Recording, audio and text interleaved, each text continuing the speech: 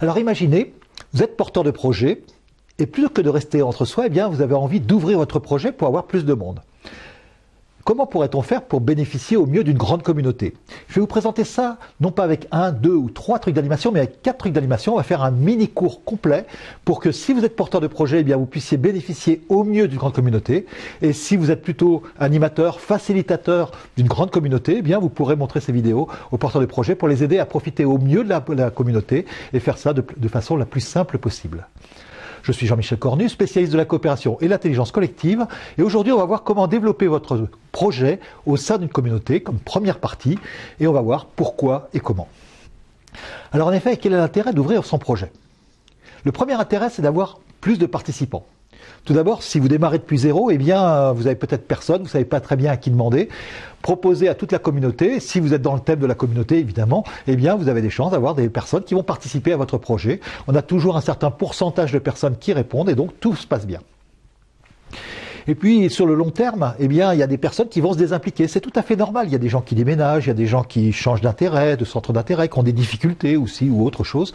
Et donc euh, le fait de proposer toujours ce qui se passe et d'ouvrir votre projet à une grande communauté va permettre de faciliter un renouvellement naturel pour avoir autant de personnes et peut-être même un peu plus dans votre projet. Troisième aspect, pour avoir plus de participants, eh bien, imaginez ponctuellement, vous avez besoin de plus de monde. Vous organisez un festival, par exemple, et puis pendant toute l'année, on travaille quelques-uns. Et le jour du festival, un petit peu avant, un petit peu après, on a besoin de 10, 20, 50, peut-être plus de personnes pour mettre les chaises, pour donner un coup de main. Eh bien, le fait d'être dans une grande communauté va vous aider aussi à ça. Deuxième intérêt d'une communauté pour un projet, eh bien, c'est d'avoir une plus grande visibilité, puisque la communauté, il y a plus de monde par définition que dans le projet, puisque le projet, on va essayer de travailler de façon efficace, mais finalement, eh bien, la communauté, il y a plus de monde. Peut-être même, elle va être plus légitime. Imaginez que votre projet, ça soit d'écrire un article sur euh, la, plantation des artichauts au Tibet, par exemple, pour décrire tout ça.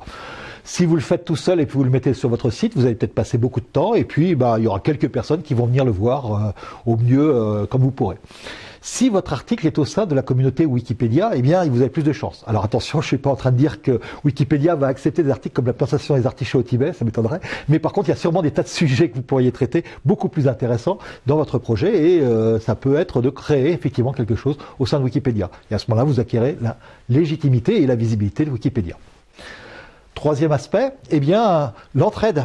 En général, dans une communauté, vous pouvez avoir plusieurs projets, donc les projets vont s'entraider, monter en compétences collectivement pour arriver à mieux animer la dynamique de groupe, et pourquoi pas, eh bien, lorsque de, de se décourage, eh bien, on peut l'encourager. Donc, cette entraide, cette montée en compétences vont être extrêmement efficaces. Alors, et bien sûr, avoir une communauté, c'est extrêmement intéressant ça va permettre de faire des tas de choses à condition de communiquer avec elle. Mais la, difficulté, c'est que les membres de la communauté ont un temps de cerveau disponible assez faible. Vous vous rappelez, euh, Le le patron de TF1, disait, moi, mon, mon métier, c'est de vendre du temps de cerveau disponible à Coca-Cola. Et si tout le monde le met à Coca-Cola, ou même si tout le monde le met dans plein de groupes, comme c'est le cas, eh bien, on a un temps de cerveau disponible assez faible à consacrer. Donc, quoi dire, qu'est-ce qu'il faut dire pour pouvoir communiquer et que les personnes qui pourraient être intéressées par votre projet et envie d'y participer puissent suivre ce que vous dites. Alors, tout d'abord, on ne va pas dire tout ce que l'on a fait avant, ou alors, sauf de temps en temps, vous pouvez faire une lettre d'information, on verra comment on peut la mutualiser avec les autres projets, mais euh, c'est quelque chose un peu en étoile, donc euh, on, diffuse beaucoup d'informations, plutôt que des petites informations courtes par des personnes différentes, et donc finalement, eh bien, ça déclenche beaucoup moins l'action et euh, même si ça peut déclencher des envies en disant tiens c'est bien ce qu'ils font, ça va déclencher beaucoup moins l'action que quelque chose de plus court et de plus précis. Et donc pas en racontant tout ce que vous avez fait avant. Alors on pourrait imaginer, ben, on va expliquer tout ce que l'on va faire maintenant. Alors le plan à 10 ans, mais oui, enfin bon, là ça fait un peu long aussi. Rappelez-vous, le temps de cerveau disponible est assez faible. Non, l'astuce, c'est de proposer la prochaine étape, juste la prochaine étape, que les personnes, que les personnes qui sont intéressées par cette prochaine étape puissent vous rejoindre facilement. Donc vous allez juste prévenir de cette prochaine étape. Alors à peu près une fois par mois, euh, peut-être euh, euh, un peu plus si vous avez plus d'actualité. Si vous n'avez pas beaucoup de choses à dire, soit vous communiquez la prochaine étape, soit si vous n'en avez pas encore, eh bien indiquez une demande. Pourquoi? Parce qu'une demande va aussi provoquer une réaction de la personne qui va réagir et peut-être vous donner un coup de main ponctuellement ou, peut-être s'intéresser à votre projet sur le long terme. Alors ça peut être une idée ou un besoin.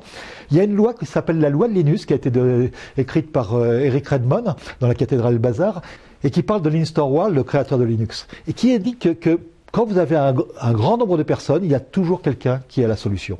Et ça marche absolument de façon incroyable. C'est-à-dire si vous avez une difficulté que vous n'avez pas à faire, c'est ce qu'a fait Linus en disant voilà, moi j'arrive pas sur telle chose, système d'exploitation, qui a une, solution. Et il y a plusieurs personnes qui ont répondu.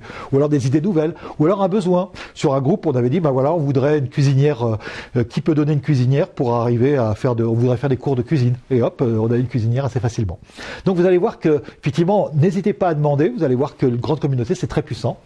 Et troisième chose, eh bien, vous pouvez aussi demander un coup de main ponctuel, comme on l'a vu tout à l'heure. Donc euh, c'est euh, c'est plus facile effectivement de travailler avec un petit groupe sur la durée, mais ponctuellement, eh bien, si vous dites euh, tiens là on a besoin de monde un peu pour cette partie-là, eh bien vous allez faire réagir les gens.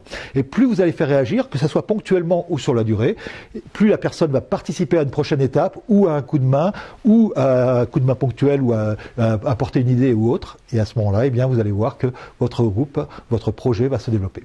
Alors il reste un problème quand même, c'est que c'est pas facile de penser à son projet et à la communauté. Bien sûr, vous pensez beaucoup à votre projet, vous essayez d'avoir plein d'idées, etc. Il occupe beaucoup de votre temps de cerveau disponible justement. Mais la communauté, du coup, des fois, eh bien, on oublie d'apporter des informations au reste de la communauté pour que naturellement, eh bien, le projet puisse bénéficier de la communauté. Alors, c'est l'avantage du facilitateur de communauté que dont on parle dans ce, ces trucs d'animation et qui vont vous permettre de vous rappeler leur seul rôle, c'est de vous rappeler, une fois par mois peut-être, ou un peu plus souvent suivant les, groupes, eh bien, euh, de communiquer votre prochaine étape avec euh, euh, le, reste de la communauté. Donc il va vous appeler, il vous dira bah tiens c'est quoi ta prochaine étape? Tiens c'est ça. Est-ce que tu as une prochaine date? Oui. Est-ce que tu peux le mettre euh, sur un petit message très court, hein, très mais tout de suite. Voilà et faites ça et vous allez voir que donc vous n'avez pas besoin de vous de garder à la tête tout ce que je viens de dire, mais juste d'être réactif quand on vous demande et vous comprendrez maintenant que à quel point c'est important effectivement que vous puissiez être réactif quand on vous dit euh, ouvrez votre, votre projet, euh, communiquez la prochaine étape. Et voilà. Alors, à vous de jouer.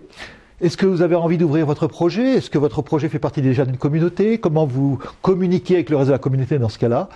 Essayez de voir tout ça et puis on verra dans les prochains trucs d'animation justement comment on va articuler tout ça pour que ça soit le plus simple possible et que vous bénéficiez au mieux de cette grande communauté. Et comme d'habitude, vous pouvez commenter, abonnez-vous avec l'appli cloche pour être prévenu des prochaines vidéos.